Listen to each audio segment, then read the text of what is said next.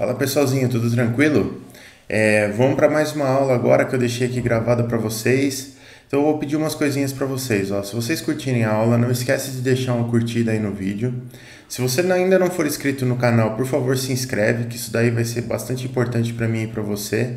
Se ativar as notificações, nota 10, melhor ainda. Se curtir muito o vídeo, posta, manda para os seus amigos, compartilha com seus amigos. E se você tiver alguma dúvida, alguma sugestão, por favor, joga aí nos comentários aí embaixo, que eu vou ter o maior prazer de responder para vocês e até gravar novos vídeos a respeito, beleza? Valeu, galera, bora pro vídeo.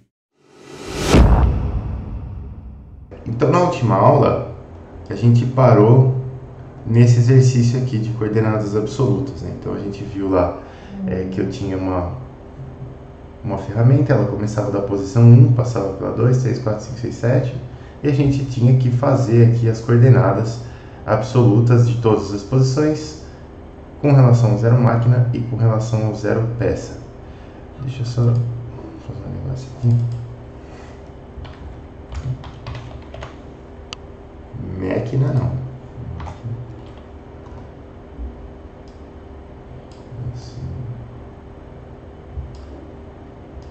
Esse aqui é o zero peça. Eu sei que esse slide aqui estava errado. E hoje a gente vai. Bom, da aula passada a gente já entendeu que são coordenadas absolutas. E hoje a gente vai para a parte de coordenadas incrementais. Então tá aqui, ó. Coordenadas incrementais são outro sistema de coordenadas, né? Quando, para quem está mexendo, para quem mexe aí com, com outras coisas, mexe com mecânica, é, mecânica que eu digo é mecânica dos sólidos, não é, não é engenharia mecânica. Mas quem fez as disciplinas lá de mecânica geral, ou estática, ou mecânica dos materiais, depois foi para dinâmica, não sei se. Que vocês viram isso, né? Lá no, no terceiro semestre lá. É... Tô fazendo. Vocês estão no sétimo, não é isso? Tá é, que vocês viram lá no terceiro semestre. E, e lá a gente, o oposto de coordenadas absolutas é coordenadas relativas. Aqui não tem coordenadas relativas, aqui tem coordenadas incrementais. O nome é diferente, mas o conceito é bem parecido. Então vamos lá. É, quando eu vou fazer, quando eu vou escrever uma coordenada de um ponto em coordenadas incrementais, para ir para o próximo ponto, eu não vou escrever a coordenada do próximo ponto, eu só vou escrever o quanto que eu preciso incrementar em cada um dos eixos para chegar na, até aquele ponto. Então é como se eu sempre estivesse no zero, né? como se a minha referência, a minha posição atual fosse sempre o zero, mais ou menos, né? para você entender. Então se eu quero é, ir para um ponto, se eu estou em x igual a 80, por exemplo, eu quero ir para x igual a 85, eu não vou colocar x igual a 85 na próxima instrução, e sim x igual a 5.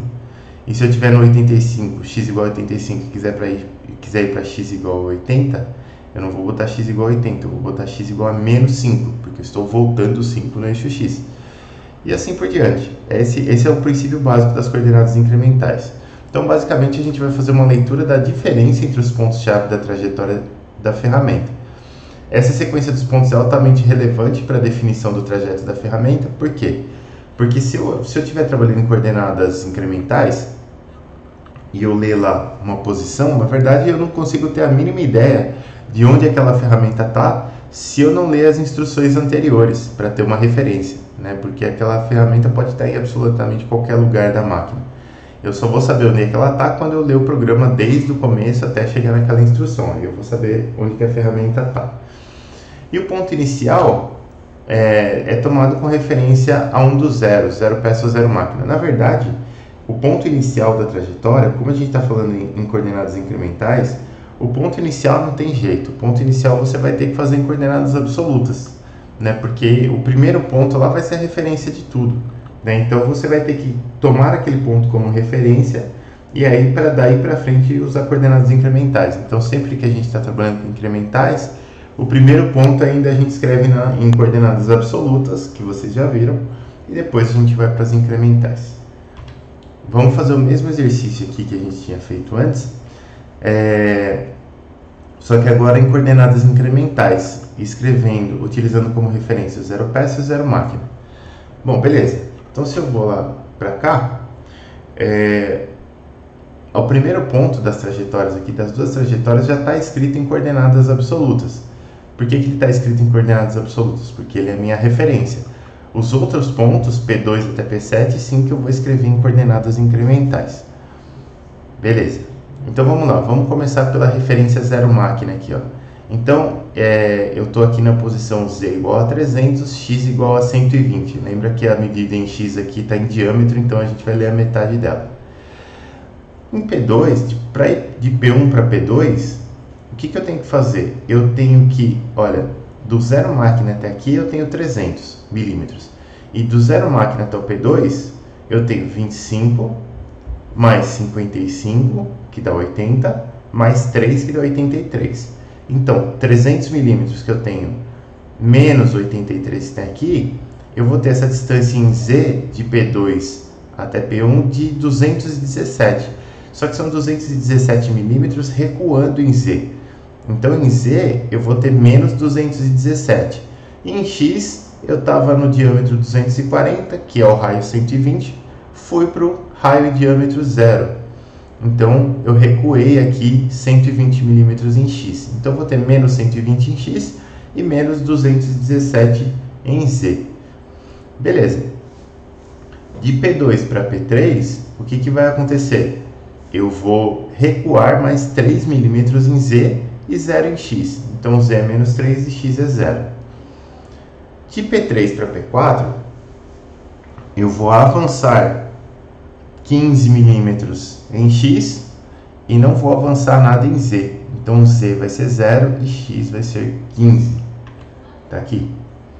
De P4 para P5, eu vou recuar 30 milímetros em z e não vou mexer no x. Então, menos 30 em Z e 0 em X. Tá aqui. De P5 para P6, eu vou recuar 10 milímetros em Z, que ó, a cota aqui foi de 30 para 40, então vou recuar 10 milímetros em Z e vou avançar 10 milímetros em X, porque a cota aqui era 30 em diâmetro, foi para 50 em diâmetro. Então o raio foi do 15 para o 25. Então avança 10 em x e recua 10 em z. Está aqui, x mais 10, z menos 10. E depois, para P7, o que, que de P6 para P7, eu vou sair do diâmetro 50 em x e vou para o diâmetro 53.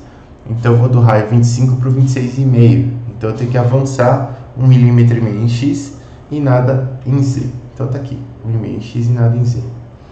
Agora, o que, que vai acontecer quando eu tomar como referência o zero peça em vez do zero máquina? Repara que vai mudar a minha posição P1, lógico, porque ela é escrita em coordenadas absolutas, mas de P1 para P2 é a mesma diferença. Então vai dar a mesma coisa. De P2 para P3 é a mesma diferença, vai dar a mesma coisa, assim por diante. Então em coordenadas incrementais, não importa se eu tomei o zero máquina ou o zero peça como referência, os outros pontos vão ser todos iguais. Tudo igual, porque é a mesma trajetória. A diferença entre os pontos é a mesma. Então aqui o incremento que eu vou ter de uma posição para outra é a mesma, é o mesmo. E isso é muito legal de você pensar, porque, por exemplo, se você escrever um programa em coordenadas incrementais, e vamos dizer que eu escrevi um programa para uma fresa, por exemplo, em coordenadas incrementais. Beleza, está escrito o programa lá. Aí eu dei um jeito na mesa da minha fresa, em vez de fixar uma peça bruta, fixar quatro. Então eu quero usinar quatro peças ao mesmo tempo. Se eu tivesse em coordenadas incrementais, eu ia ter, aliás, se eu tivesse em coordenadas absolutas, eu ia ter que escrever um programa para cada peça, porque os valores iam mudar todos lá e eu não consigo fazer uma conta, né, uma operação, uma soma, uma subtração, sei lá, dentro do programa de, de da máquina CNC. Né? Não dá para fazer. Então eu teria que escrever quatro programas. Mas se eu estou em coordenadas incrementais, o que, que eu posso fazer? Eu posso pegar o mesmo programa, setar quatro zeros máquinas diferentes, um para, aliás, quatro zeros peças diferentes, um para cada peça, e aí eu tomo, eu pego assim um zero peça como referência, executo o programa. troco de referência de zero peça, executo novamente o mesmo programa. E assim por diante, eu só vou trocando zero peça de referência e o programa vai permanecer exatamente o mesmo. Então você vai conseguir é, fazer várias peças aí com o mesmo programa, sem trocar de programa. Outra coisa interessante das coordenadas incrementais é que você pode fazer operações que são padronizadas e complexas tornarem-se subfunções. Né? Então vamos dizer que você tem uma operação lá que é fazer um furo em uma peça. Então o que, que você vai fazer? Você vai pegar, você vai fazer uma aproximação, aí você vai fazer um pré-furo com uma ferramenta mais pontiaguda, vai tirar, aí você vai vir fazer um furo com uma broca um pouco mais grossa, vai tirar, aí você vai vir fazer uma interpolação helicoidal com uma outra ferramenta para largar esse furo, aí você vai tirar, aí você vai chegar lá no fundo e vai fazer um desbaste lá no fundo para achatar o fundo do furo e, e vai tirar a ferramenta dali. Então você percebe que é uma operação bastante complexa envolve várias operações aí. Então eu posso escrever uma subrotina onde eu faço esse furo de maneira padronizada e aí eu vou usando essa subrotina no meu código. Se eu tenho um padrão de furação, por exemplo, eu quero fazer seis furos numa peça lá. Então eu só vou colocando a ponta da ferramenta na posição inicial para começar a rotina do furo e executo a subfunção a subrotina do furo. Ela vai fazer o furo ali. Aí eu troco essa ferramenta de posição, coloco numa outra posição inicial, faço o furo ali também. E assim por diante. Então, isso torna, as coordenadas incrementais tornam o problema muito prático, né? muito fácil de resolver programando.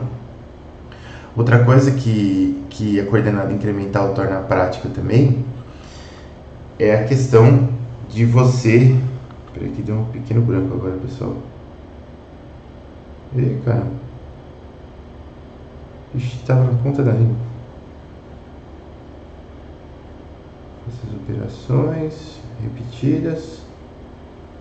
Ah, é o fato de, dependendo como vem o desenho para você, você, às vezes, você precisa fazer muita conta para chegar na posição absoluta que a ferramenta tem que ir. E às vezes ler o desenho e fazer o programa em coordenadas incrementais é mais fácil né? Então você pode optar, não tem nenhum demérito você fazer em coordenadas absolutas ou incrementais, absolutamente tanto faz. E você pode trocar de coordenadas, né? Você pode, não precisa usar só o tipo de coordenada, você pode trocar isso no meio do código. Você está em absolutos, fala, agora vou trocar para incrementais. E vai, faz umas operações, ah, vou trocar para absolutas de novo, vai, faz outras operações, não tem problema nenhum. Você pode muito bem fazer isso. Então, às vezes vocês vão ver que dependendo do desenho que eu passar para vocês, vocês vão achar mais fácil fazer em coordenadas absolutas ou mais fácil fazer em coordenadas incrementais. Vai depender muito de como as cotas estão no desenho também. Bom, beleza. Então a gente já entendeu o que são coordenadas incrementais.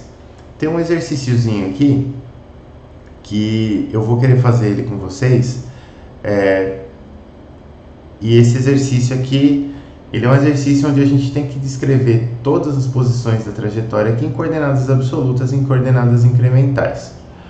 Eu tenho mais exercícios aqui nessa aula aqui, mas é, eu não quero gastar tanto tempo assim fazendo exercício que eu quero avançar com vocês. Então esses outros exercícios aqui eu vou pôr em uma lista de exercícios, uma coisa assim, para vocês fazerem. Mas é, esse aqui, esse primeiro aqui, pelo menos a gente vai fazer juntos. Então vamos lá.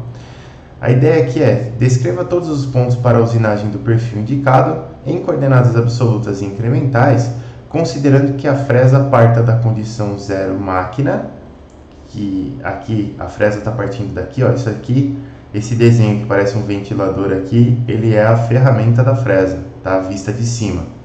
Esse desenho aqui é a peça vista de cima e esse desenho aqui é a peça vista frontalmente tá? É a mesma peça. Então, é, tem uma parte elevada aqui, que é essa parte central.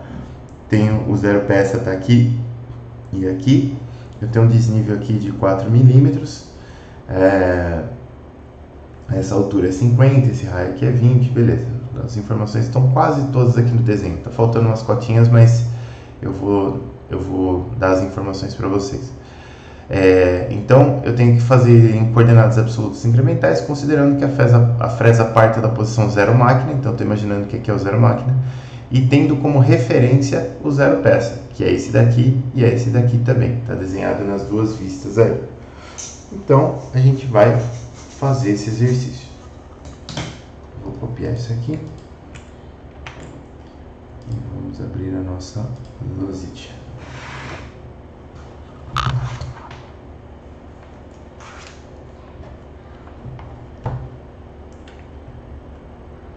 Então tá aqui, ó. Deixa ele mais ou menos aqui assim. Beleza. Aqui, ó, eu vou começar pelas coordenadas absolutas que a gente viu lá passada para lembrar e depois a gente vai para as coordenadas absolutas. Aliás, depois a gente vai para as incrementais.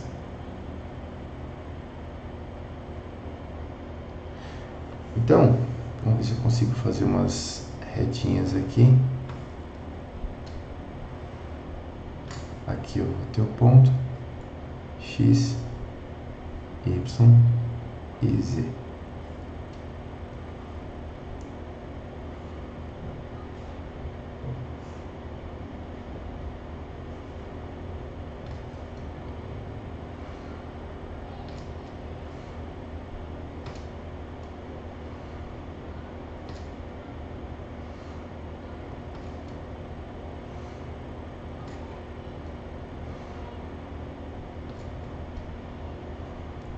bonitinho.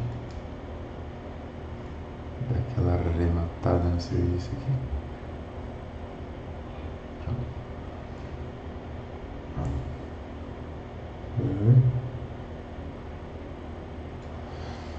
Beleza, pessoal. Então, olha só. Eu vou ter aqui alguns pontos, eu já meio que contei aqui, mas vamos lá. Eu vou começar desse ponto aqui, que é o meu zero máquina, né? Então esse daqui vai ser o meu ponto zero. E aqui eu estou referenciando o centro da ferramenta. Quando eu avançar para a peça, eu vou ter que referenciar o ponto da peça que eu quero cortar, que não vai ser exatamente o centro da ferramenta, vai ser um ponto na periferia da ferramenta. E quando a gente for fazer isso, da peça, é, aliás, dessa movimentação aqui inicial para a movimentação que eu vou fazer na peça, a gente vai ativar uma coisa que se chama compensação automática de raio. Então, você pode estar se perguntando, o que, que eu devo referenciar aqui? Que ponto que eu tenho que referenciar? Eu tenho que referenciar o ponto é, do centro da ferramenta ou um ponto na periferia? Depende do que você está fazendo. Que nem agora, nesse primeiro primeira posição, vou referenciar o centro. Da segunda em diante, como são movimentos de corte, eu vou referenciar a lateral da, da, da ferramenta, que é a posição onde ela tem que estar tá cortando. E por fim, eu vou referenciar o centro de novo. Então, o que, que vai acontecer? Vamos fazer uma estratégia para depois traçar os pontos aqui. Ó. Eu vou ter esse ponto zero aqui, aí eu vou me aproximar da peça e vou começar a cortar. Como que eu vou começar a cortar essa peça? Eu vou começar a cortar assim, ó. Eu vou começar a cortar por um ponto aqui, que eu vou chamar de 1. Um. Depois eu vou dar uma passada reta, vou vir para cá. Então esse ponto aqui eu vou chamar de 2. Depois eu vou vir reto para cá. Esse ponto eu vou chamar de 3. Depois, esse arco aqui a gente consegue fazer com um movimento só. E a gente vai passar a posição final do movimento para a máquina. Então, esse ponto aqui vai ser o ponto 4. Este ponto aqui ó, vai ser o último ponto que eu vou cortar. Vai ser o ponto 5. E aí depois, esse ponto zero aqui também é o meu ponto 6. Nossa, saiu é grosso 6 aqui. É o meu ponto 6. Tá aqui. Então eu tenho sete pontos que eu preciso passar com a minha fresa. E eu infelizmente fiz seis linhas aqui. Vamos fazer mais uma.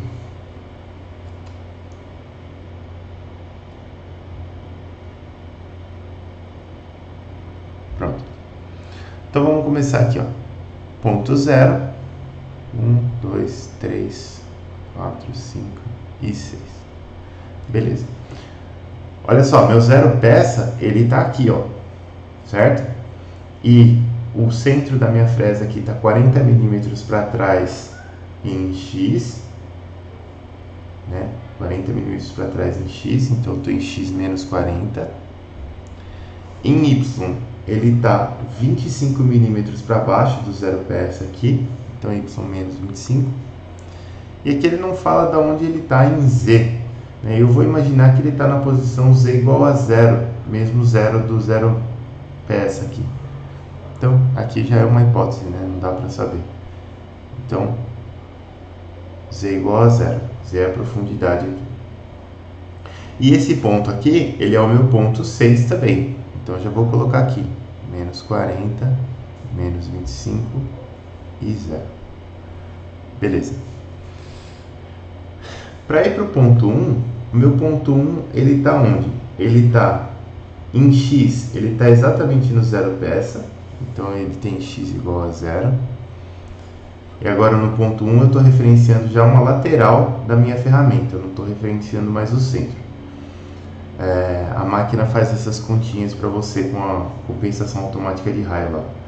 Então aqui eu tenho ponto 1, está a 5 milímetros, aliás, ele está em cima do x em 0, do zero peça, ele está a 5 milímetros do zero peça em y no sentido positivo, em Z, pessoal, onde que eu tenho que estar com a base da minha ferramenta? Eu não posso estar aqui no zero, ó, porque eu quero cortar aqui embaixo. Então eu tenho que estar em Z igual a menos 4. Então Z aqui vai ser menos 4. Beleza. Depois eu vou para o ponto 2. Então, em Z e em Y eu não vou mexer, então o z continua sendo menos 4 e o y continua sendo 5. E em x eu vou da posição 0 para a posição, aqui a largura é 50, e aqui está faltando a cota dessa lateral aqui, mas eu vou imaginar que é igual a essa outra lateral aqui. Ó. Então 50 menos 5 são 45 milímetros. Então x está em 45 aqui. Beleza. Do 2 para o 3, o que, que eu vou fazer? Eu vou subir uma distância aqui em y. Essa distância a gente tem que descobrir. Então eu sei que eu tenho 5 milímetros daqui de borda aqui embaixo, eu tenho 50 milímetros ao todo aqui. Essa bordinha aqui também não é dada, mas eu vou chutar que ela é de 5 milímetros também. Então eu tenho 5 e 5 aqui, sobra 40 aqui dentro. O raio dessa circunferência é 20, então sobra 20 aqui embaixo. Então de 2 para 3 eu tenho mais 20 em y então y vai para 25.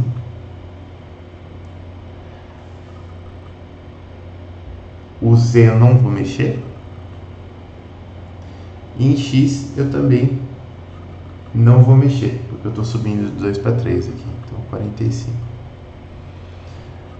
Depois de 3 para 4, repara que eu vou ter movimentação em y também, em c não, né? Então já posso colocar menos 4 aqui eu vou ter movimentação em y, mas o que importa é só o ponto 4, e o ponto 4 está alinhado com o ponto 3.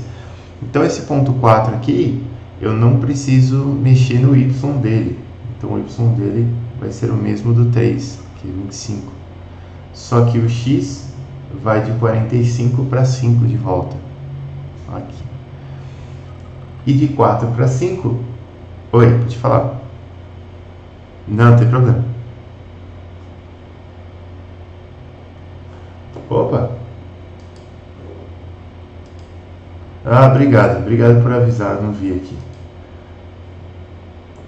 É... Ah, a questão do eixo Z. A questão do eixo Z é a seguinte, ó. É... Eu preciso. Imagina que essa ferramenta, essa ferramenta não, imagina que essa peça aqui, ela é um bloco assim. É, a peça bruta ela é um bloco assim. E aí a peça que eu vou usinar, ela tem que ficar assim, ó. É, eu vou ter essa parte aqui de baixo e a parte de cima aqui ela é rebaixada assim, né? Vou ter uma, uma alturinha aqui, ó, que eu vou ter que usinar, eu vou ter que passar aqui com a minha fresa para comer esse material aqui, né? Então, a minha fresa, a ferramenta da fresa, ela começava nessa altura aqui, ó. Se eu fizer a movimentação em x e y com a ferramenta da fresa, eu não vou cortar nada, eu vou passar rente aqui, eu não vou cortar. Então eu tenho que descer esses 4 milímetros aqui que a gente tem, ó, isso aqui são 4 milímetros. Eu tenho que descer isso aqui em Z para eu conseguir cortar esses 4 milímetros aqui e fazer esse desenho da borda aqui, ó. É essa a sua pergunta?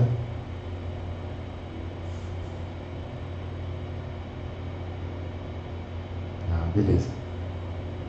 Ô Caio, não tem problema. Se você quiser que eu volte a explicação para algum ponto aí, mas, mas questão de questão de presença não tem problema nenhum, não.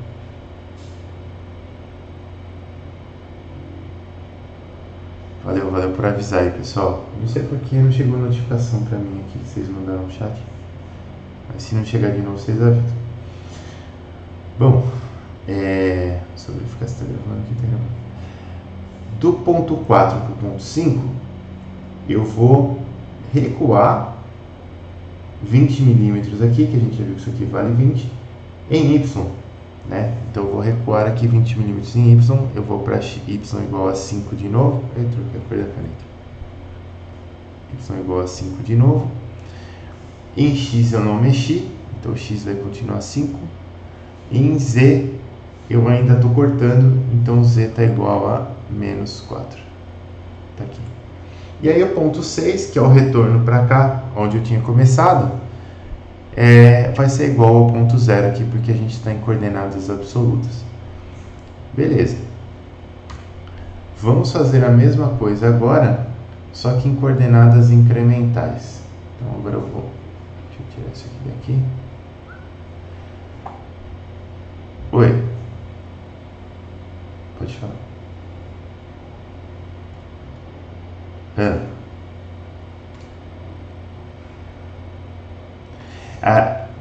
Porque aqui a gente só está vendo as coordenadas, né? Quando, quando você for fazer o, o, programa, você vai colocar também a instrução junto, né? Então, tipo assim, você sempre coloca é, o código da instrução e depois a coordenada final da trajetória, porque você sempre está na coordenada inicial já, né? E aí, se for, por exemplo, um G01, a gente está fazendo uma interpolação linear, então a máquina vai reta até lá. Mas se for um G02 ou um G03, são duas interpolações circulares. Então você vai dar a coordenada final, você também dá o raio da circunferência, porque ela tem diversos arcos que ela pode fazer aqui entre 3 e 4. E aí a máquina sabe que ela tem que fazer um arco até chegar em 4, aí ela faz esse arco.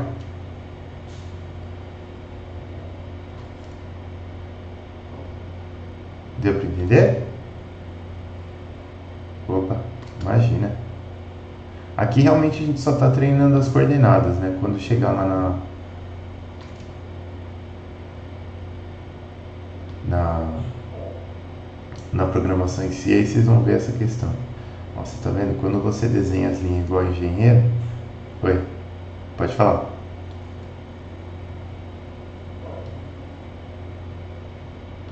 Pode, não tem problema nenhum. Você consegue trocar todo momento de coordenada absoluta para incremental e de incremental para absoluta de novo. Você, não, você só não.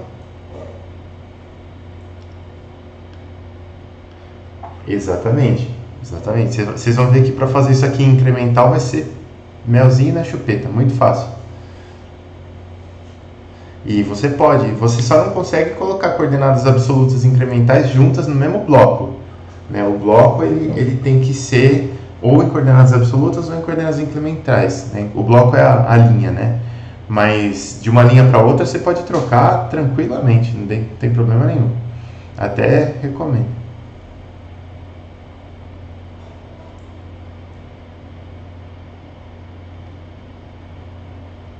Não, a gente tem, tem um comando, a gente, eu vou mostrar isso para vocês hoje tem um comando que é o comando que a gente chama de preparatório. E nesse comando preparatório a gente coloca, a gente diz para a máquina se a coordenada vai ser absoluta ou incremental. E aí ela, ela entende melhor o que você está fazendo. É, quer ver pessoal? Ó, montei a tabelinha aqui. Ah, vamos fazer isso aqui em coordenadas incrementais. Então a posição zero aqui ela vai ter que ser em absolutas ainda, não tem jeito, né? Porque a gente não tem referência. Então vou copiar daqui, ó. Menos 40, menos 25 e 0. Beleza. É, na posição 1 aqui, ó. Deixa eu dar uma minha luzinha aqui, ver se a letra sai mais bonita. Para chegar na posição 1, eu vou ter que andar aqui, ó. Agora é incrementais, né? Deixa eu anotar aqui. Pronto. Para chegar na posição 1, eu vou ter que me deslocar aqui em x 40 milímetros no sentido positivo. Então eu vou colocar aqui mais 40. Em y, eu vou ter que deslocar 25 mais 5. Vou ter que me deslocar 30 milímetros em y. Em z, eu comecei no plano lá, né, no 0, 0, eu vou descer para z igual a menos 4 para começar esse corte aqui. Ó. Então z vai ser menos 4. Beleza. Cheguei com a ferramenta aqui no ponto 1, vamos começar o corte. Do 1 para o 2, o que, que eu vou fazer? Eu vou andar 45 milímetros em x. Então x mais 45. Em y e z eu não vou andar, então é 0 e 0. Depois aqui, ó, do 2 para o 3, eu vou andar 20 milímetros em y. Então aqui eu vou andar 20 em y, em x e em z eu não vou mexer. Do 3 para o 4, né, lembra, eu vou, eu vou dar a instrução para fazer o arco, mas a coordenada 4 aqui está alinhada com 3. Então eu não estou mexendo em y, eu só vou mexer em x aqui. A gente está andando menos 40 em x.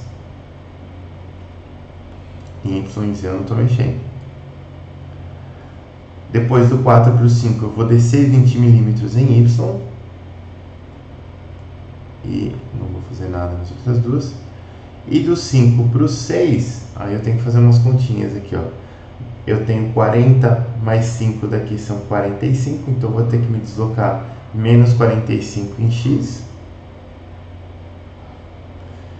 Em y, eu vou ter que me deslocar 5 mais 25, então vou ter que me deslocar menos 30.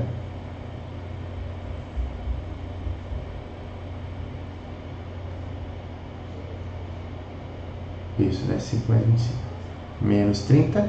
E em Z, eu vou ter que me deslocar mais 4, né? Porque eu estava cortando aqui, depois eu vou subir 4 no final lá. Então, mais 4. E beleza. E cá está a nossa programaçãozinha em, em coordenadas incrementais. Deu para ver que é muito mais fácil, porque sempre que você não vai mexer numa coordenada, é zero nela e acabou. Né? Aqui você tem que copiar o valor dela. Nas incrementais é zero nela e, ponto final. Você só vai colocar a coordenada onde você vai mexer. Então tem algumas coisas que realmente ficam um pouco mais fácil você fazer em incrementais. É... Deixa eu ver aqui se tinha mais alguma observação importante. Ah, e como a gente saiu e voltou para a mesma posição inicial, vocês vão ver que se eu somar as posições de 1 até 6 aqui, tem que dar zero, né? Então isso daqui é uma verificação rápida para você ver se seu código está certo. Então eu tenho mais 40, menos 40, mais 45, menos 45, zerou. 30 menos 30 mais 20 menos 20, zerou. E 4 menos 4, zerou. Então eu realmente saí e voltei para a mesma posição aí.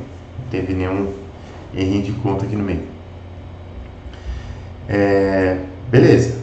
Vamos voltar lá para nosso para nossa aula, que agora na verdade a gente vai para próxima aula, que é um pouco da programação. E depois os exercícios eu coloco na lista lá de exercícios para vocês. Então, ó, isso aqui, inclusive aqui a gente vai tirar um monte de dúvidas que vocês já apresentaram hoje e que eu acho muito legal, pessoal, quando vocês participam. Fico realmente feliz. É, então, olha só, a gente vai falar do formato de programação. Então, o formato de programação ele se chama Word Address Format. Né? É, então o que, que, você tem aqui? Você tem letras, números e pontos decimais quando necessário. Né? Normalmente toda esses são os caracteres que a gente pode usar, né? Números, letras, ponto decimal e sinal de mais ou menos. Normalmente o mais a gente usa muito pouquinho, a gente usa bem o menos mesmo. É... E palavras, né? O que, que são as palavras? A palavra ela vai ser algo que começa com uma letra e pode ser seguida de números. Então é sempre uma letra pelo padrão e uma sequência de números na frente da letra. Esses, essas, essa definição é a definição para os comandos padrões, né? Depois tem os comandos lá dos fabricantes que podem ser palavrinhas, outras coisas lá que fica mais fácil de entender. Mas no padrão é uma letra e uma sequência de números. E esse aqui é o formato hum, é, mais moderno, e mais utilizado com exceção dos códigos dos próprios fabricantes lá. Então a gente tem as palavras, né? uma palavra é sempre uma letra seguida de um número, E quando eu junto algumas palavras, eu vou ter um bloco, que é necessariamente uma linha de programação aqui. É... Aqui, ó, toda palavra ela vai ser iniciada por uma letra, que é o address, né? por isso que chama Word Address Format. Então, junto com essa letra, eu vou ter algarismos, né? Eu vou ter números que podem ter ponto decimal e podem ter o sinalzinho de menos, lá se for um número negativo. E eles representam o dado numérico associado àquela palavra, que, é o, que são os dados da palavra, né? Que a gente chama de data da palavra. Depois, é, nenhuma palavra admite espaços internos, né? Então você tem sempre letra e número, letra e número. Os espaços eles vão servir só para separar as palavras, tá? É, então aqui tem alguns exemplos de palavras, né? Várias palavrinhas aqui, mas isso aqui não chega a ser um bloco de programação. Isso aqui não faz sentido nenhum essas essas instruções todas colocadas desse jeito aqui, mas para você ver que como é que como é que é a carinha das palavras. Só essa barrinha aqui que eu não sei de onde que veio, deve ser algum padrão da Fanuc, sei lá, mas normalmente a gente não usa barra assim para programar. É... Depois o bloco, pessoal. O bloco ele é um conjunto de palavras concatenadas em sequência lógica. Né? Então, é... aqui ó, essa observação aqui é importante. Está dizendo aqui que as instruções de bloco são executadas em sequência. Na verdade, o código G ele é feito para que você não precise ter uma sequência dentro do bloco de programação. Você pode ter essa sequência, é, você, é, a máquina ela tem que executar esse bloco como um todo. Porém, nem toda máquina faz isso e você pode ter alguns problemas. Então você vai ver que tem uma sequenciazinha que a gente usa no bloco para evitar determinadas confusões. Tá? Vai que a máquina não foi muito bem implementada tal e pode ser que ela está lendo coisas em sequência, então a gente faz as coisas com uma sequência lógica para evitar confusão. Aqui, ó, por exemplo, isso aqui é um exemplo de, blo de bloco, um blocozinho bem estruturado. Aqui, ó, eu tenho G90. G90 é algo que vocês já perguntaram aqui, ó. Quando eu dou esse comando G90, né, eu até ignorei, isso aqui é só o número da, número da linha, N25. Isso aí não, não quer dizer nada. G90, eu estou dizendo para a máquina que eu vou começar a trabalhar em coordenadas absolutas. Então ela sabe que o que acontecer aqui vai ser em coordenadas absolutas. G00, estou dizendo para a máquina que eu quero que ela faça um movimento rápido. Né? Ele não é necessariamente em linha reta, depois a gente vai ver isso com detalhes, mas ele é praticamente em linha reta. É, para a posição x13, y4.6 e vai executar a função miscelânea M8 que é ligar o fluido refrigerante. Isso aqui é um bloco, tá pessoal? Esses dois primeiros comandos aqui, eles são comandos que eles não induzem nenhum movimento, eles são só comandos que a gente chama de preparatórios, porque eles vão fazer a máquina se preparar para fazer o movimento. Esses dois comandos aqui são as coordenadas, então quando eu dou a coordenada, a máquina se move para a coordenada utilizando o modo que eu ensinei para ela na parte preparatória. E esse miscelâneo aqui é algo que ela vai fazer junto com o movimento. Então, quando ela começar esse movimento, ela também vai ligar o fluido refrigerante. Isso aqui poderia estar em absolutamente qualquer ordem, mas essa ordem que está aqui é uma ordem bem padrãozinha e é uma ordem que faz sentido a gente utilizar. Já vou mostrar para vocês por quê. Vocês precisam entender umas outras coisinhas antes. É... Aqui está exatamente o que eu falei agora. Né? Apesar de não ser obrigatório, costuma-se seguir uma sequência de instruções padrão no bloco para fins de segurança.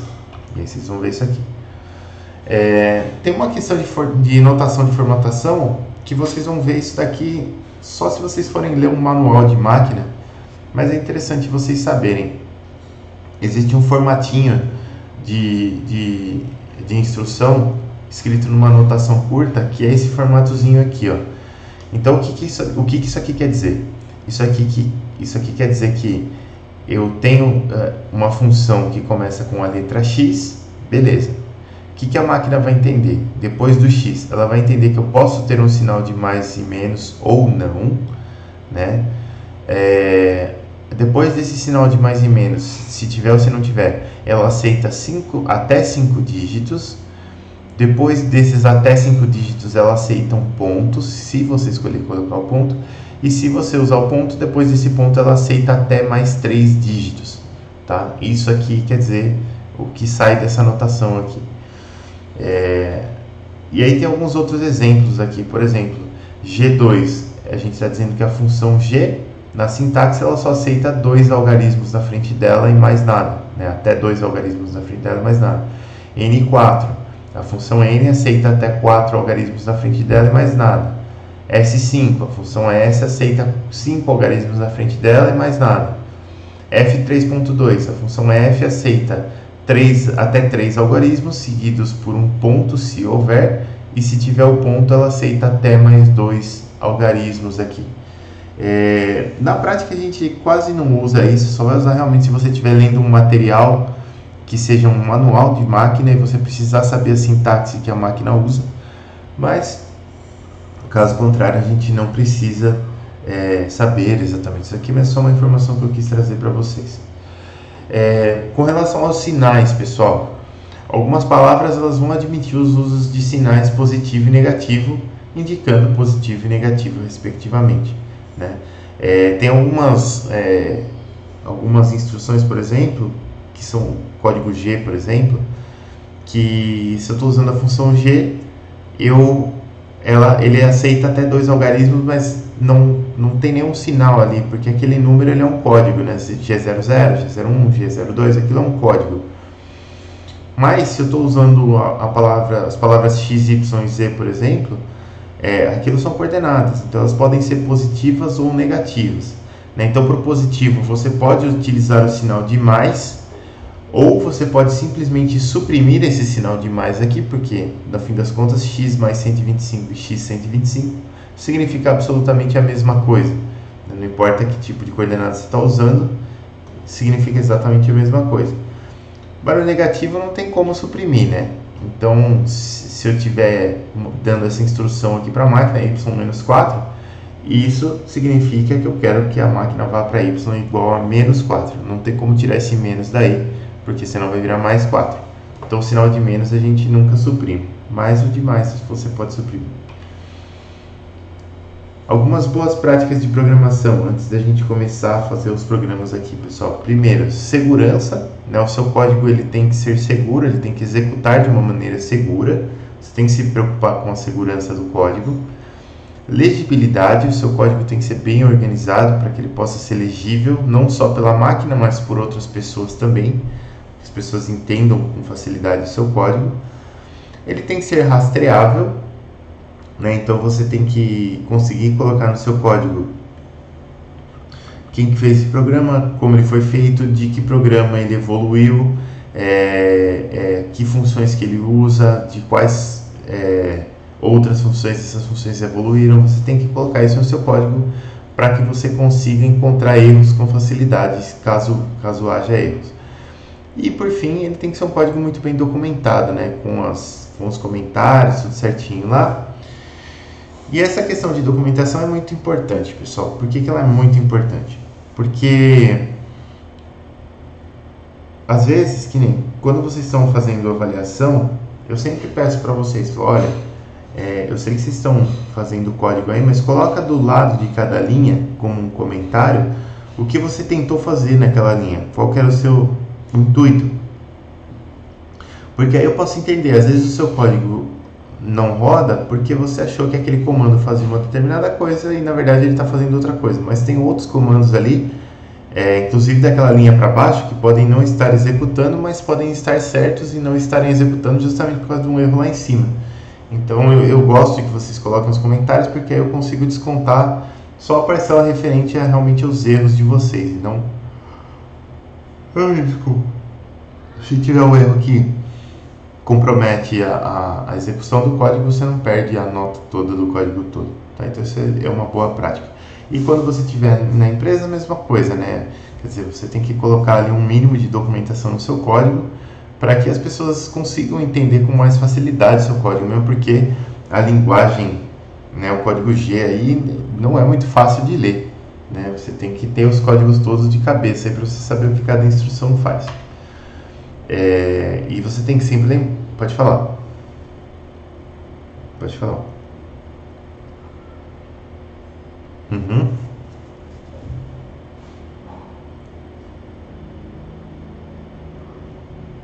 Você pode. Uhum. Você pode. A gente, ali eu adotei uma estratégia de, de usinagem ali que foi aquele caminhozinho que eu fiz com os pontos, né? Mas você poderia ter feito. Então, primeiro, você poderia ter entrado por outra posição da peça e você poderia ter feito outro caminho. Você poderia ter feito o caminho no sentido anti-horário. Você poderia ter feito umas passadas sem fazer um circuito. Não tem problema, poderia ter feito sim.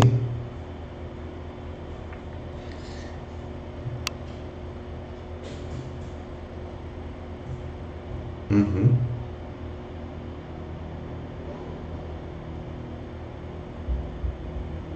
Hum. Exatamente. É, eu tento. Eu tento dar uma certa liberdade na, nas provas de vocês, justamente para ver o pessoal né, adotando soluções ali e as provas acabam ficando diferentes também. Aí a gente consegue ver realmente o que aconteceu, né? Mas tem alguns exercícios que, por exemplo, dependendo do tipo de compensação de raio que eu peço para vocês utilizarem, se eu especificar, falar, use compensação de raio é, à esquerda. Então, naturalmente, você só vai conseguir fazer essa usinagem dessa peça se você fizer um, uma usinagem no sentido anti-horário, se for uma usinagem, aliás, no sentido horário, se for uma usinagem externa, e no anti-horário, se for uma usinagem interna. Então, tem, tem algumas coisinhas assim, eu tenho que tomar realmente um certo cuidado mas eu entendo o que você está dizendo. E, poderia sim, ali não tem problema não. Como não está especificado, você poderia usar a estratégia que você quisesse ali. É... Então aqui, só apareceu essa caixinha aqui, ó, que é que você tem que lembrar que seu código vai ser lido, modificado e reutilizado por outras pessoas dentro da empresa. Então tem que ser um negócio profissional ali. É... Agora vamos entrar nos comandos preparatórios, pessoal. Vamos falar um pouquinho sobre comandos preparatórios. Os comandos preparatórios, eles são os comandos G, né? Quase todos eles são preparatórios. E é, eles vão servir para preparar o controle da máquina CNC para que uma determinada operação seja executada.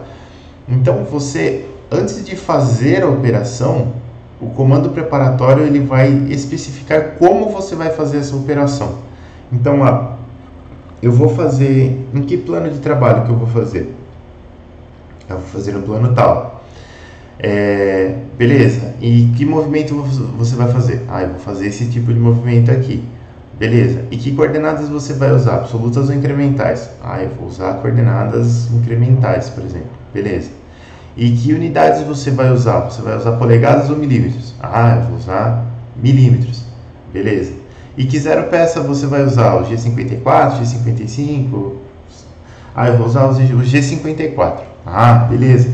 Então tudo isso a máquina precisa saber para ela poder executar a, a, sua operação, o seu movimento. E tudo isso a gente vai setar na máquina antes de executar o movimento. Então essas operações todas, esses, essas informações todas que eu passo para a máquina são os comandos preparatórios, porque eu estou preparando ela né? Tô alimentando ela com informações para que ela consiga executar o movimento corretamente. É... Aqui eu tenho um contra-exemplo que eu coloco para vocês aqui. Ó. Num determinado código, eu tenho a linha 7 lá e eu tenho esse comando aqui, x3y10. Bom, beleza, não dá para saber absolutamente nada com isso. Né? A gente não consegue saber se as coordenadas são absolutas ou incrementais. Aqui coloquei relativos por força de hábito. Eu não consigo saber que unidade que está isso aqui. Eu não consigo saber que operação que eu vou fazer para chegar lá, qual é o caminho que eu vou fazer para chegar lá. Eu não sei nada. Então eu não consigo executar esse comando simplesmente de colocar ele lá. Então por isso que a gente precisa dos comandos preparatórios, né? Então como que eu vou transformar esse contra-exemplo em algo compreensível? Bom, Vou, vou apresentar dois comandos para vocês, que a gente até discutiu um pouquinho aqui. G00 é um comando de movimentação rápida. Para que, que eu uso esse comando? Eu uso esse comando quando eu quero deslocar a ferramenta de um ponto a outro na máquina o mais rápido possível, sem executar nenhum movimento de corte. Tá? Então só tô, eu só tô é, deslocando essa ferramenta de um ponto para o outro o mais rápido que der. É, por que, que eu faço isso? Porque quando eu não estou executando nenhum corte, esse movimento, não que ele seja inútil, né? Porque às vezes eu preciso chegar num ponto diferente lá da peça, mas ele não é um movimento produtivo. Ele é um movimento que não está produzindo nenhuma alteração na minha peça. Então, eu preciso gastar o mínimo de tempo com esses movimentos que não são produtivos. Lógico que os movimentos produtivos também têm que ser feitos da maneira mais rápida, mas eles também têm que ser feitos da maneira mais eficiente, que tem outros critérios para fazer. Mas quando o movimento é não produtivo, ele só precisa ser rápido. Ali a única coisa que eu tenho para economizar é tempo. Né? Então eu tenho que fazer esse movimento muito rápido. E para isso é que eu uso esse comando. É... Essa movimentação rápida, é... ela nunca vai poder utilizar, ser utilizada, por exemplo, no movimento de corte. Por quê? Porque quando eu vou fazer um movimento de corte, eu tenho a rotação da ferramenta que vai me dar ali, ou a rotação da peça, se for um torno, que vão me dar a velocidade de corte, e eu tenho o avanço, que é a velocidade com que aquela ferramenta está se deslocando sobre a peça bruta, tanto no caso do torno quanto no, no caso da fresa. E esse avanço é extremamente importante, essa velocidade de avanço. Por quê? Porque ela vai determinar várias coisas. Por exemplo, ela vai determinar a qualidade do acabamento que eu vou fazer na minha peça, né? O avanço é a velocidade de avanço é um dos parâmetros ali essenciais para determinar a qualidade de acabamento. Ela vai determinar se eu vou danificar a peça ou não, se eu vou danificar a ferramenta ou não, qual tipo de cavaco que vai sair. Essa velocidade de avanço ela determina muita coisa. Então ela tem que ser muito bem pensada e ela tem que ser muito bem ajustada para um movimento de corte. Né? Por isso que a gente usa outro comando, que é a interpolação linear, que é um comando no qual você vai fazer um movimento em linha reta, mas você programa a velocidade. E você consegue ir desde uma velocidade muito baixa, tipo 1 milímetro por minuto, é uma velocidade extremamente baixa, até velocidades bem altas aí, né? até a velocidade máxima da máquina, que aí vai depender da máquina, mas pode chegar a metros, é, metros por segundo, eu não sei se chega, mas alguns metros por minuto com certeza chega. Então, é para um movimento de, de máquina assim, é bem rápido. É, então, esse é o primeiro comando, movimentação rápida. E o segundo comando que a gente vai ver é o G90, que é onde eu digo para a máquina que ela vai fazer essa, esse movimento em coordenadas absolutas. Beleza. Tem esses dois comandos aí. Como que eu vou fazer agora para dar aquele comando de uma maneira que eu consiga entender o que está acontecendo? Tem várias maneiras. Uma das maneiras é essa daqui, ó. Coloquei no mesmo bloco. G90, estou falando para a máquina que o próximo movimento será feito com coordenadas absolutas, beleza? G00, estou falando que a movimentação será rápida, beleza? E aí quando eu dou as coordenadas é que a máquina faz o movimento. Então, dei lá as coordenadas x13 e y10, beleza, agora ela vai fazer o movimento. E ela vai ir para a posição x igual a 3 e y igual a 10, porque é, a gente mandou ela fazer isso em coordenadas absolutas. Então ela vai, ela vai o mais rápido possível para lá. Tem outras formas de fazer isso? Tem. Por exemplo, aqui ó, lá na linha N3 eu disse que as coordenadas eram absolutas. E aqui nas linhas N4, N5, N6 e N7 eu não fiz nenhuma alteração para a coordenada incremental. Aqui ficou, eu falei que as coordenadas eram absolutas, e uma vez que eu falei isso e não mudei o que eu falei, a máquina vai fazer tudo em coordenadas absolutas, até que eu fale para ela mudar isso. Então, lá em cima eu falei, ó, coordenadas absolutas, beleza? Beleza. Aí fiz lá uma interpolação linear, fiz um, um arco, fiz um não sei o que, e agora eu vou chegar aqui embaixo, vou Z0, G00, agora eu quero que ela faça um movimento rápido para X3Y10, beleza? Beleza, ela vai fazer exatamente a mesma coisa que esse bloco aqui. Tem outro jeito de fazer? Tem eu poderia fazer assim, ó. Lá na linha N3, lá em cima, eu falei que as coordenadas eram absolutas e a movimentação era rápida. Beleza? Beleza. Então a máquina vai fazer um movimento rápido aqui em N4, depois um outro movimento rápido aqui em N5, depois um outro movimento rápido aqui em N6. E aí, por fim, chegar em N7, ela tem essa instrução de x3 e y10. Como que ela vai executar isso daqui? Com coordenadas absolutas, porque o G90 está aqui e não foi alterado, e com movimentação rápida, porque eu disse aqui em cima que era para fazer movimentação rápida e não alterei o tipo de movimentação nos outros, nas outras linhas. Então, a hora que chegar aqui, vai acontecer exatamente a mesma coisa. Ou ainda, eu posso separar esses códigos aqui em dois blocos assim, que também não tem problema nenhum, funcionaria. Tá? funciona perfeitamente da mesma forma. Desde que eu não mude o tipo de coordenada aqui no meio e não mude o tipo de movimentação, ela vai chegar aqui no N7 e vai fazer exatamente a mesma coisa que ela fez opa, nesse N7 aqui, ó, tá? Sem problema nenhum.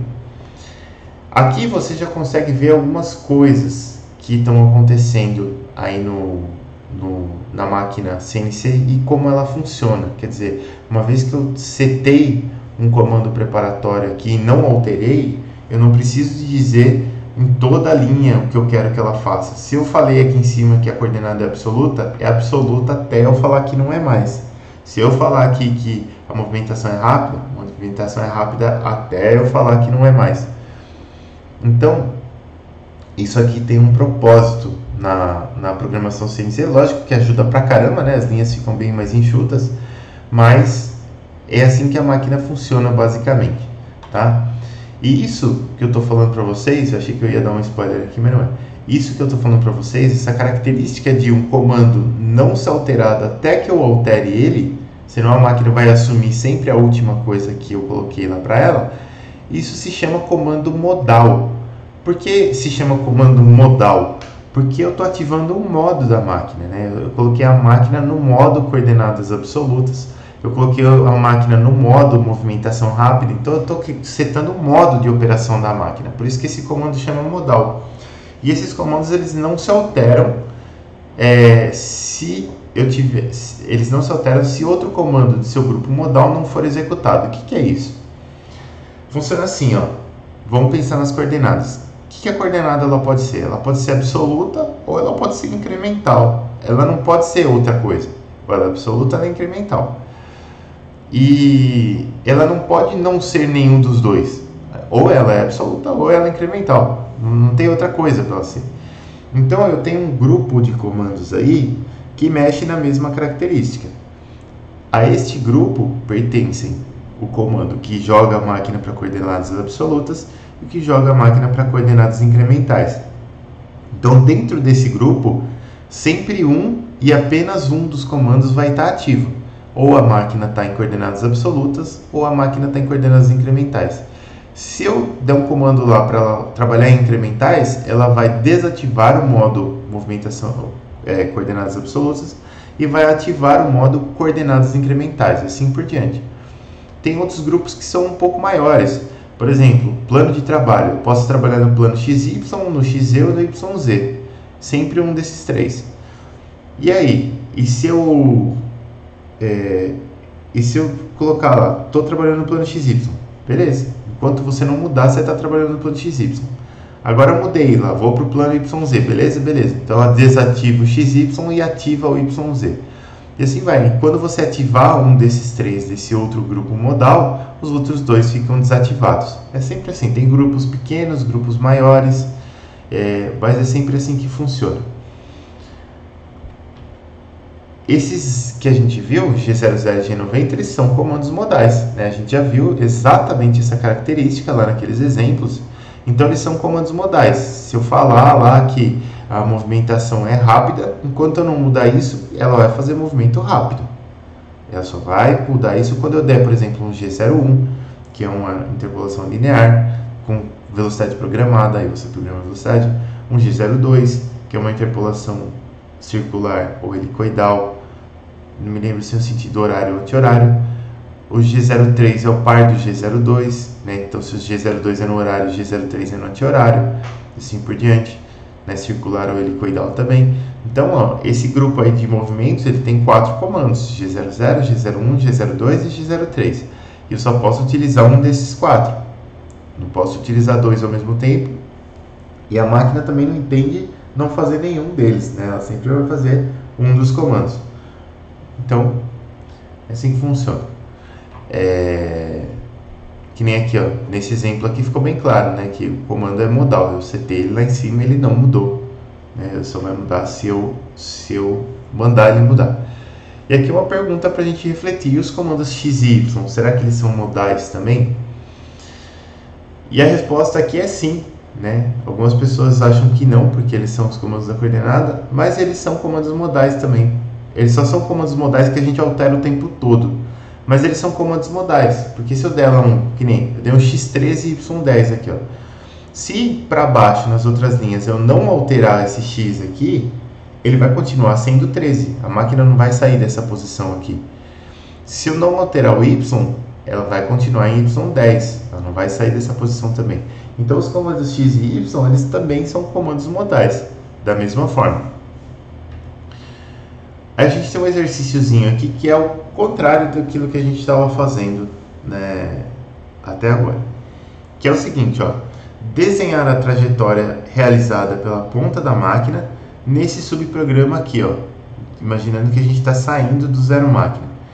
Então aqui eu tenho algumas, algumas movimentações e tem só o G90 e o G00 aqui para a gente brincar.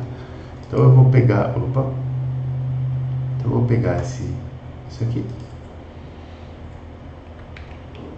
E a gente vai para nossa luzinha lá para brincar de novo. Então, luzinha tá aqui. Vamos apagar isso aqui. E vamos colar isso aqui. Este é o meu código. E aí, beleza. Então, eu tô aqui. Eu tenho, tenho que ter o zero aqui em algum lugar. Esse zero eu vou colocar aqui. Aí eu tenho o eixo Y aqui para cima assim. E eu vou ter o eixo X aqui para a direita. Então tá aqui o eixo X. Beleza. G0, G90 coordenadas absolutas, G00 é, movimentação rápida. Então já sei que eu estou em coordenadas absolutas. O movimento aqui não vai fazer muita diferença para a gente nesse momento, mas beleza. Ele vai partir do zero máquina. Então vou colocar o meu zero aqui. Ela vai partir, vou pegar a linha vermelha aqui, ela vai partir daqui, 0, 0. Ela vai para x igual a 5, y igual a 3. Então ela vai fazer um movimento que tem mais ou menos essa cara aqui, ó. Assim, x igual a 5, y igual a 3. Algo assim. Beleza. Então eu tenho aqui um novo pontinho, a posição 5 e 3. Beleza. No próximo comando aqui, ela falou x, 0. Então, x vai voltar para o zero. O que, que vai acontecer com y? Nada, absolutamente nada. Só o x que voltou para o zero. Então, ela vai pegar aqui, na mesma altura do y, x0. Veio para cá. Então, ela veio para a posição x igual a zero. y continua sendo 3 aqui. Beleza. Agora ela vai para a posição Y20. Ela vai subir um montão aqui. Foi para Y igual a 20. X continua sendo zero, porque ela não mudou o X. Então tá aqui, foi para cá. Depois, X15, Y22. Então, no, no Y ela vai subir bem pouquinho, vai subir só 2 milímetros, mas no X ela vai se deslocar 15. Então vai ser um algo assim, mais ou menos. Então tem aqui, é, aqui, esse ponto aqui vai ser o x igual a 15, y igual a 22. E depois ela vai para o x igual a 13, y igual a 10. Então, vai recuar 2 em x aqui, vai um pouquinho, e vai para o y igual a 10, mais ou menos metade do caminho. Vai acontecer algo assim. Então aqui eu estou em x igual a 13, y igual a 10. Beleza. Esse foi o trajeto da máquina. Isso aqui, ó, o que aconteceu nas linhas N4 e N5 é muito comum. Né? Como x e y são comandos modais também, é, eu não preciso especificar de novo a coordenada, por exemplo, da, da linha N3 para N4, eu não preciso especificar de novo a coordenada Y aqui, ó, por exemplo, Y3.0 aqui, volta aqui. Eu não preciso. Ah, mas e se eu fizesse, e se eu colocasse Y3.0, ia mudar alguma coisa? Absolutamente nada. A máquina ia fazer exatamente o mesmo movimento. Tem algumas pessoas que gostam de colocar a posição repetida, sim para ficar mais claro para onde a máquina vai. E tem algumas pessoas que gostam de não colocar a máquina, a, a posição repetida, para ficar mais claro qual é o movimento que a máquina vai fazer. que aqui ela só vai fazer um movimento em X, né, horizontal aqui, não preciso é, dizer a posição Y porque o Y não vai mudar.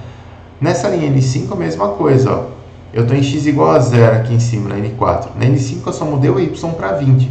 Se eu colocasse X0 aqui, ó, ou 0 ou 0.0 que fosse, ia mudar alguma coisa? Não ia mudar absolutamente nada também. Ela ia fazer exatamente esse mesmo movimento, porque ela vê que em X não tem que mudar, só tem que andar em Y. Então, ela ia fazer esse movimento aqui. Mas, na prática, a gente não faz, não faz essa redundância que a gente não coloca. Pode colocar, não tem problema, mas na prática a gente não coloca. Tá? Independente do, de do que você quer deixar claro no seu código. Se você quer deixar claro a posição para onde você vai ou se você quer deixar claro o movimento que você está fazendo. Tanto faz realmente aí. Beleza. É...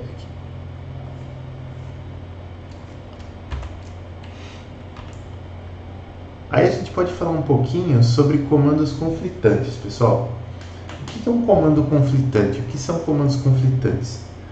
Os comandos conflitantes, eles são comandos que é, eles não deveriam ocorrer na mesma linha, né? Por exemplo, se eu estou colocando no mesmo bloco lá que o G00 eu sei que ele é um movimento rápido e o G01 é uma interpolação linear em velocidade programada. Então os dois eles são do mesmo grupo modal. Se eu colocar dois programas, dois comandos do mesmo grupo modal no código, o que, que acontece? O que acontece se eu fizer isso aqui, por exemplo? Se for uma boa máquina, ou se for um bom compilador, dependendo do que você está fazendo, isso aqui deveria gerar um erro, né? Porque você falou para a máquina que ah, eu vou fazer uma interpolação linear, beleza? Beleza. Ah, eu não vou mais, eu vou fazer um, uma, movimentação rápida aqui, beleza? Então, você não pode fazer as duas coisas no mesmo bloco. A máquina deveria executar esse bloco aqui de uma vez só, né, numa cacetada só. E aí você coloca dois comandos conflitantes, deveria dar um erro na sua máquina. Porém, dependendo da implementação da máquina, pode ser que ela leia isso aqui em sequência. Essa linha aqui, do jeito que está, se ela ler em sequência, ainda vai dar um erro. Por que, que vai dar um erro? Eu vou começar aqui G01, você vai fazer interpolação linear com velocidade programada, beleza? Beleza. G00, ah, vamos trocar esse modo aí para velocidade rápida, beleza? Beleza, a máquina não vai se recusar a trocar o modo. Aí então você vai fazer uma movimentação para x 3,5 e y 6.125, beleza? Beleza. A uma velocidade de avanço de 20 mm por minuto. Você fala, opa, peraí, a gente está fazendo um movimento rápido. Você não deveria tentar programar a velocidade do movimento, porque o movimento é rápido, fazendo na máxima velocidade que der. Então isso daqui ainda geraria um erro. Agora, se a linha for desse jeito aqui, por exemplo, ó, imagina, G00, vamos fazer movimentação rápida, beleza. G01, ah não, esquece a movimentação rápida, eu vou fazer uma movimentação, é, uma, uma interpolação linear com velocidade programada. Beleza. Então eu vou para a posição 3,5 em x, 6.125 em y, a uma velocidade de avanço de 20 mm por minuto, beleza? Beleza. E a máquina vai e faz e executa essa operação aqui com deslocamento linear, quando pode ser que você queria uma, uma movimentação rápida, ou sei lá, o contrário, não sei. Mas dependendo da implementação, ela pode executar essa linha aqui você, às vezes você estava esperando que fosse um movimento rápido, porque você viu o G00 aqui, e ela faz uma interpolação linear, e você fica horas para descobrir que tinha um G01 aqui na frente fazendo a coisa acontecer de maneira errada, principalmente se o código for muito grande. Então, é, eu tenho que tomar muito cuidado nesse tipo de comando. Tá? Muito, muito cuidado. É, ordem dos comandos no bloco, pessoal. Lembra que eu falei para vocês que se os comandos G não forem conflitantes, sua ordem é irrelevante. Mas agora vocês já sabem que existem comandos modais. E eu preciso tentar entender o que, a máquina vai fazer com esse comando que eu der. Então olha só, eu tenho esse G91 que troca a máquina para coordenadas incrementais e eu tenho, vou fazer esse comando aqui, por exemplo, ó, linha 40, G91, G01, Z-0.625, F8,5. Então, ó máquina, agora eu estou trabalhando em coordenadas incrementais, beleza? Beleza, eu vou fazer uma interpolação linear com velocidade programada, beleza? Beleza. Eu vou me mover para Z igual a menos 0.625, beleza? E eu vou fazer isso em velocidade de avanço de 8,5 mm por minuto, beleza? Beleza. Show de bola, a máquina faz. Nesse caso aqui, ó, ela deveria fazer a mesma coisa, porque como eu falei para vocês, comandos não conflitantes no bloco, eles devem é, gerar exatamente a mesma coisa. Só que imagina que você tem uma máquina que não foi muito bem implementada e até a linha N39 aqui você estava fazendo movimento rápido. Então você estava com o G00 ativado. Beleza, G00 tal, fez movimentações rápidas lá. Aí beleza, linha 40, G91. Beleza, vamos para coordenadas incrementais. Z menos 0.625. Então você vai fazer um movimento, beleza? Beleza. O que está na memória da máquina? Movimentação rápida. Então vai fazer com movimentação rápida. Ah, porra, tem uma velocidade aqui, tem um G01 depois. Caramba, era para ter feito em, em, em, interpolação linear. Será que ela fez em interpolação linear?